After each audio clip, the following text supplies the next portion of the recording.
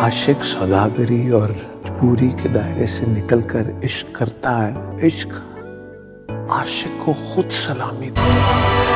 हर फासला रास्ता सर करके मैं तुम्हारे पास आ गई जानता था मैं फराद के लिए हो। सकता रब दे